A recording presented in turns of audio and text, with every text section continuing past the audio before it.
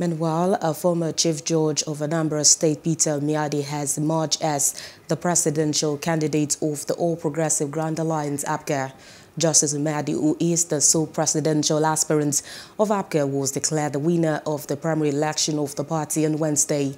His candidacy was affirmed by 150 delegates who voted at a special convention of the party held in Abuja. The former chief judge, in his acceptance speech, asked the Nigerians to respect the ballots and promise to secure votes at the polls that will transform the country. Please do subscribe to our YouTube channel and don't forget to hit the notification button so you get notified about fresh news updates.